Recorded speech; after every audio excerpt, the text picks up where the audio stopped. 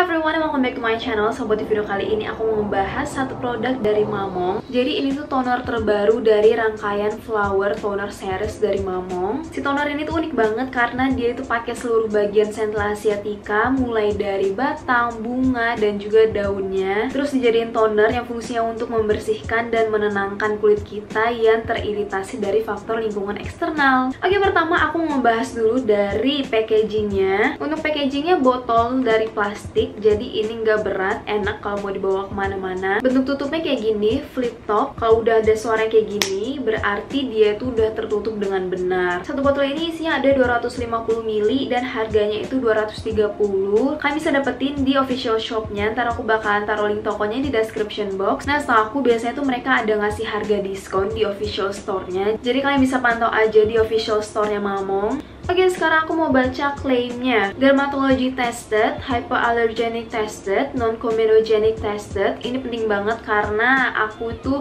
tipe yang gampang banget komedoan karena pori-pori aku tuh gede, terutama di bagian hidung dan sekitar pipi sini. Dan ophthalmologist test. Si toner itu juga bebas dari kandungan berbahaya seperti kandungan hewani, minyak mineral, parfum, pewarna sintetis, kandungan berbahaya urea, dan juga minyak silikon. Dari ekstrak Centella asiatica ini dia tuh ada mengandung BHA alami yang bisa mengontrol sebum dan juga kulit mati biar kulit kita itu lebih lembut. Terus itu juga bisa untuk mencegah pertumbuhan dari jerawat. Jadi si Mamo Centella Trouble Toner bisa swipe your trouble away. Oke, sekarang aku mau ngebahas tentang teksturnya. Buat teksturnya dia tuh cair dan dia tuh masih ada kayak aromanya gitu. Cuman aromanya tuh kayak biasa aja gitu nggak yang nusuk gitu. Kalau udah di apply ke muka dia tuh nggak kecium apa-apa sama sekali. Si tonernya itu dia cepet nyerapnya nggak lengket sama sekali. Itu penting banget. Karena jujur aku kurang suka sama skincare yang kalau dipakai tuh lengket karena menurut aku nggak nyaman. Tapi si toner ini tuh dia nggak lengket sama sekali cepet nyerapnya. Terus pas dipakai ke muka tuh ya cooling sensationnya tuh langsung kerasa gitu loh bikin kulit jadi lebih kerasa tenang. Oke sekarang aku mau lanjut ke demo pemakaian produknya. Nah buat pemakaian pakaiannya ini tuh kalian harus pakai dalam keadaan wajah kalian bersih terbebas dari makeup atau apa pun. Jadi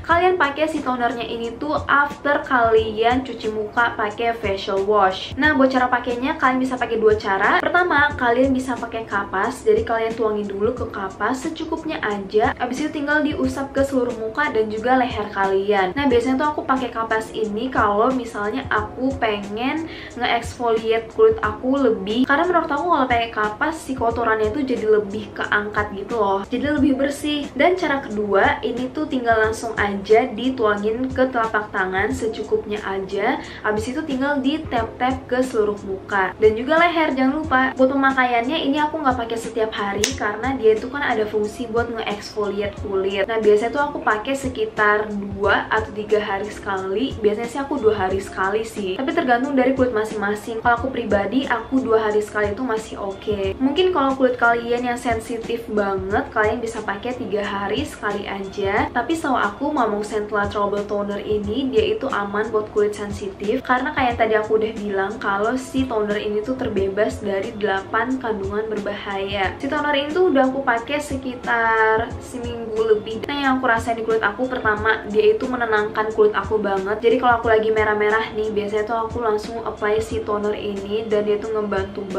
ngurangin si merah-merahnya itu. Kedua aku ngerasa kulit aku jadi lebih bersih. Sel-sel kulit matinya itu berkurang banget. By the way tipe kulit aku itu normal to dry skin. Jadi kulit aku kadang kalau lagi kering dia tuh bahkan kering banget sampai kayak ngelupas gitu. Terus si toner ini tuh ngebantu banget buat menenangkan kulit aku. Nah si toner ini tuh kan dia ada fungsi buat eksfoliasi. Nah jadi nanti dia tuh ngebantu buat ngangkat sel-sel kulit mati. Jadi kalau misalnya ada kulit yang kayak ngelupas gitu itu tuh si tonernya lagi bekerja untuk mengangkat si sel-sel kulit mati. So yeah, that's it for today's video. Kalau kalian penasaran dan pengen nyobain si Mamong Centella Trouble Toner ini, link tokonya aku bakalan taruh di description box. Itu official store-nya, jadi udah jamin banget itu 100% original. Nah, mungkin ada dari kalian yang udah pernah nyobain si toner ini, kalian boleh banget ya komen di bawah toner ini tuh di kulit kalian kayak gimana. Apakah cocok atau enggak? Oh ya, aku juga mau kasih tahu ini tuh penting banget kalian harus denger kalau setiap orang itu kulitnya beda-beda. Jadi satu produk itu bisa cocok di aku tapi nggak cocok di kalian atau sebaliknya. So that's it for today's video. Thank you so much for watching. Bye